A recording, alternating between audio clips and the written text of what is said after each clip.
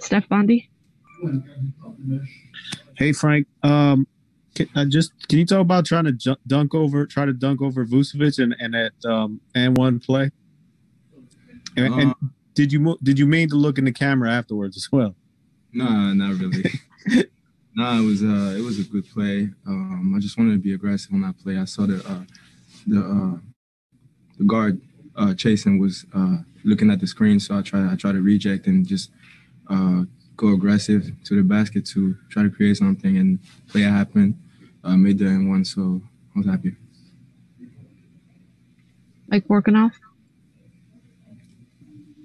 W- w- Frank, where did that come from for you? I think you've you've rare. I, the last time I think I remember you trying to dunk on someone was the Porzingis play. Um, was that just a, a natural, I guess, burst of confidence for you coming out? Definitely just being aggressive, um, staying aggressive throughout uh, the game. Um, I say it's the same with my shots. Uh, didn't fall the whole game, but um, just staying aggressive, staying confident, and trying to make plays. Marc Berman. Hey, Frank, I, I mean, what was going through your mind going into the game? I mean, there were four straight games where uh, you hadn't scored. I mean, what was your mindset heading into this night? In the win, in the win. That's the most important thing. Uh, bouncing back. Uh, we come off as a team. Uh, uh, off, we come off two um, tough losses against two great teams. So uh, it was important for us to bounce back today, get the win, and so yeah, it was really mindset. Amanda Hajar.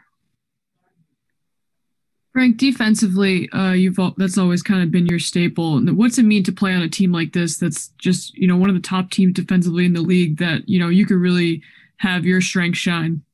That's love. That's love. Um, just having this group of guys who uh, trying to fight on both ends of the court. Um, they take this as a challenge, and um, that's the beauty of the game. And I think this side of the court is really important for a team to uh, be able to go uh, where where you want to go.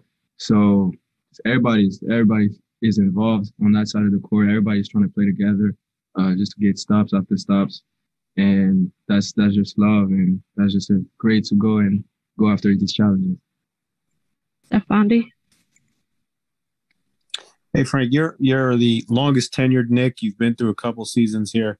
Does this season feel different than the previous ones? Well, yeah, definitely. First of all, in the uh, winning percentages uh, and everything from the start of the of the season, uh, I feel was different. Um, like I said, like Coach said earlier in the season, we if you want to get where we want to go, we have to pay the price, and that's um, what we're doing on the on the daily basis. We're working ev- every day to be the best team as possible, to grow, and yeah, just to compete and challenge. And um, definitely, we also in sync. We have a great group of guys who live together, who laugh together, who who just compete together. It's a family. So um, going going every game uh, with this group of guys is just it's just amazing. So uh, yeah, I feel definitely like the season is uh, different. Thank you, Frank.